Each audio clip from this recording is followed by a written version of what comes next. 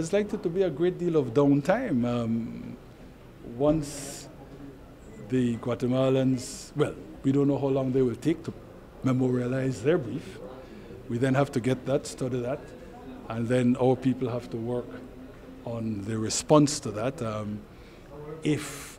the Guatemalans take the full year and we take the full year, which we hope we won't, um, you can see that there will be long periods when there's nothing happening except lawyers uh, busily, um,